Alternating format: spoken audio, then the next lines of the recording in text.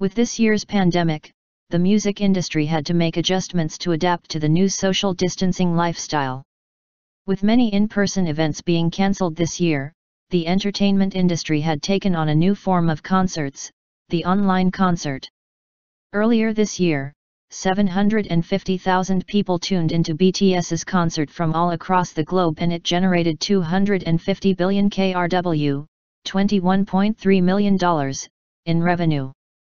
This was nothing surprising for the worldwide famous K-pop boy group.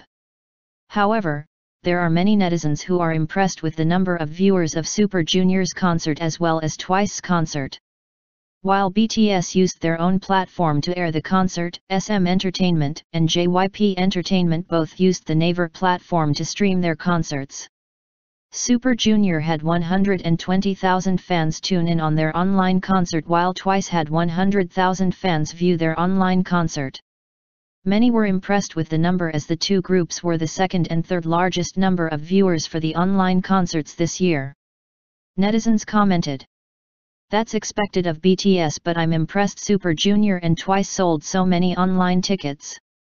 Wow, Super Junior's been around for a long time but they are still able to have so many people attend the concert.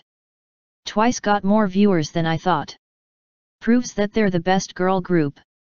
Super Junior is so amazing. I think Twice did so well for 100,000 viewers on their concert. Super Junior is still able to have so many concert viewers after all these years.